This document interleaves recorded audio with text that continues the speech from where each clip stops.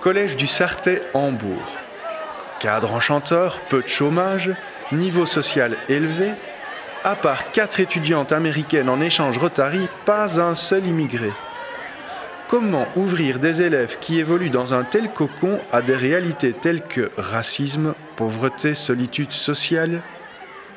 Ce film est une expérience, une porte ouverte sur deux mondes bien différents.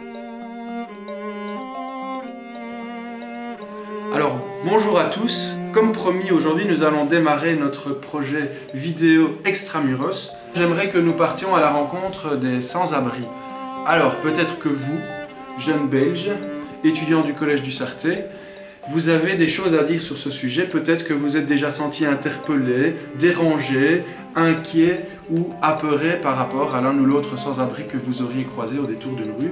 J'aimerais bien qu'on en parle un petit peu. Est-ce que vous avez comme ça des questions, des opinions euh, qui vous viennent à l'esprit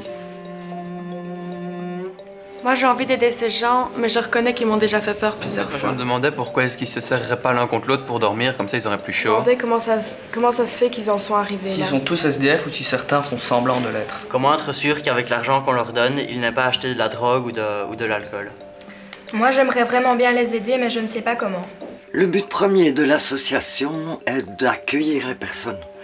Accueillir euh, des gens qui sont momentanément ou durablement économiquement ou affectivement exclus de la société.